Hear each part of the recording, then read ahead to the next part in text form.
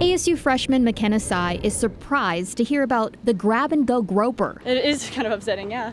She carries pepper spray on her keychain. I feel like safer with it on me. And says she'll now be even more aware of her surroundings. Christian Johansson will too. Worried and just like kind of grossed out like it's icky. On Friday evening between 7:30 and 8, ASU police say a man on a bike inappropriately touched four female students while pedaling past them.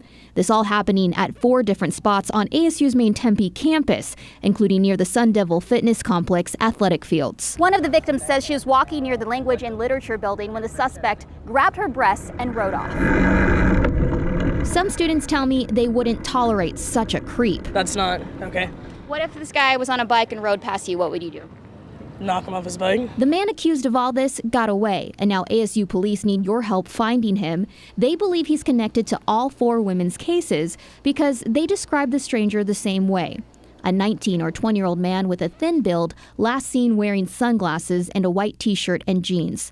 Unfortunately, no word on what color or type of bike the suspect was riding. You're making people scared to go outside and walk by themselves and, like, you know, enjoy their college life. So, that guy's a piece of crap. Investigators remind everyone if they see something suspicious, say something. In Tempe, Maria Hechanova for Arizona's Family.